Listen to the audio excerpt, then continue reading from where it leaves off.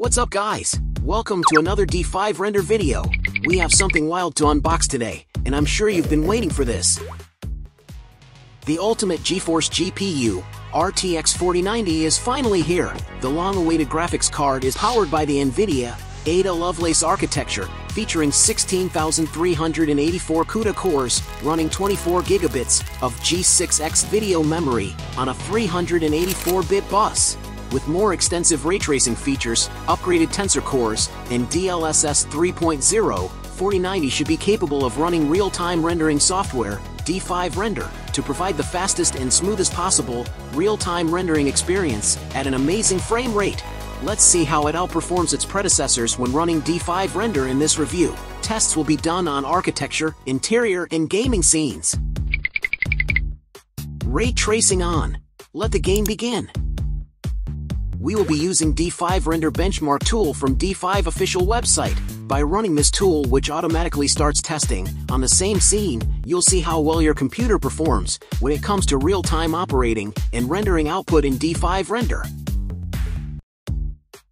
You can see from the results that it took 3090 3 minutes 44 seconds to finish the rendering test, while 4090 made it in 1 minute 45 seconds. For a 2K resolution image, 3090 renders in 33 seconds and 4090 19 seconds. For a 5 second long animation, 3090 renders in 3 minutes 11 seconds and 4090 1 minute 26 seconds.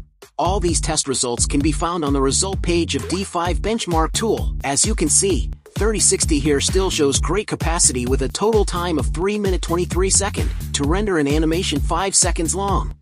For 3D rendering professionals and enthusiasts, we have got three more scenes to put you in the know about how good 4090 can be for you. On the left, we have an average FPS of 22 in this CG gaming scene coming from 3090, and 4090 almost doubles the number, offering us an FPS at 57. This is actually a complex scene heavy on Alembic files, and let's take a look at the animation preview. 3090 real-time FPS 8.5.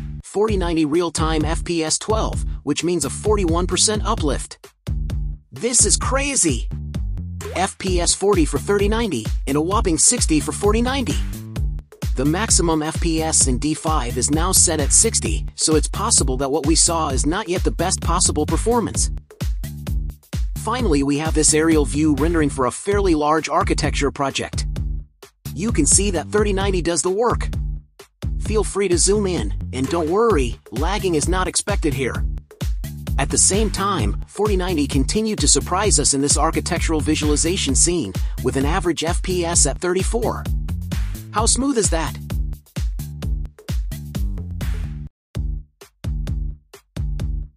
We've tested several features and commands inside D5 Render on the scenes, and it turned out that the beastly 4090 is extremely competitive in working with D5 by using D5's built-in path, scatter, brush tools to quickly place multiple car, people, vegetation assets, which is normally resource intensive, we can still expect a smooth and efficient rendering experience with a relatively high frame rate.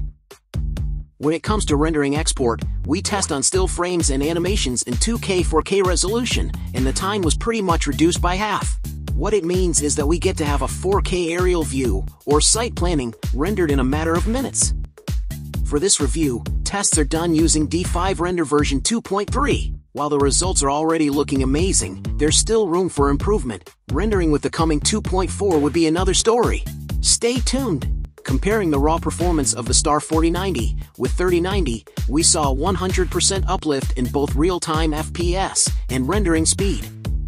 Its futuristic features should work especially well with D5 in shortening render time drastically handling extremely huge or complex scenes, and offering an incredibly smooth real-time experience. Is it worthwhile to purchase 4090? Whether you have an answer right now or not, what we can advise is that apart from a hardware upgrade, switching to a better, easier, more affordable software like D5 Render will also be a boost to your efficiency. Despite its amazing performance with 4090, this software is not limited to high-end cards only and runs on GeForce GTX 1066GB and above.